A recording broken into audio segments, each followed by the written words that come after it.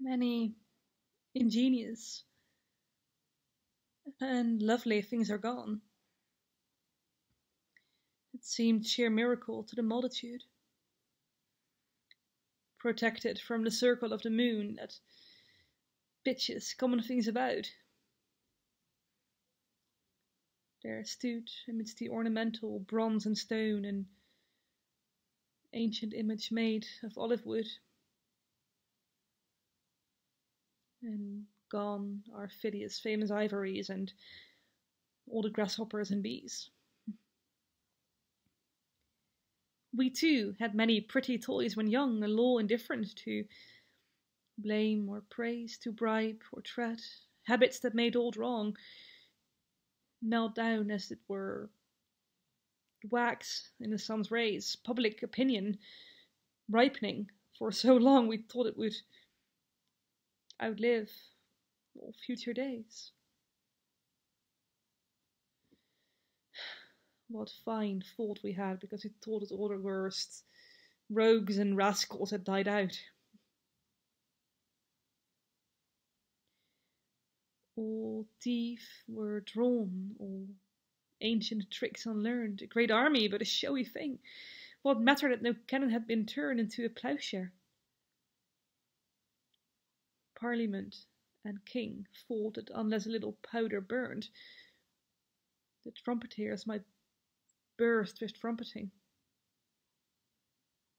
And yet it lacked all glory, and perchance the guardman's drowsy charges would not prance. Now days are dragon ridden, the nightmare rides upon a sleep. A drunken soldiery can leave the mother murdered at her door to crawl in her own blood and go scot free.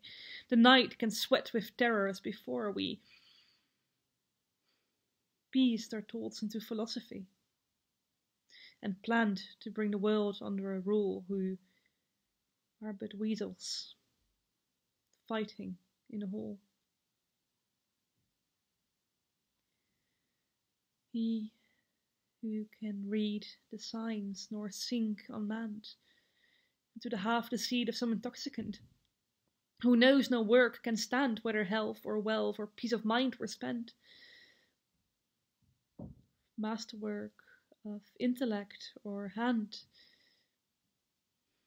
no honour leave this mighty monument has but one comfort left. All triumph would but break upon this ghostly solitude.